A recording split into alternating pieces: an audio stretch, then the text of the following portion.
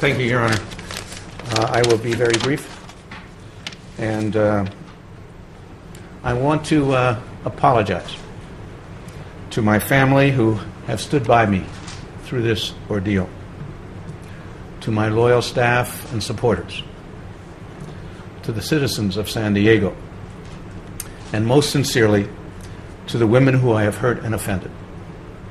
To all of you, I make the same promise that I made to my family to earn back your trust and my integrity, no matter how long it takes and what I have to do.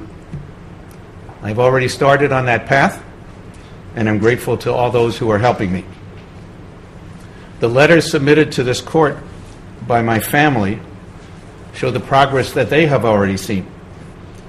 Certainly, the behaviors before this court today will never be repeated. And I am confident that I will come out of this a better person, and I look forward to making further contributions to the city I love. Thank you, Your Honor.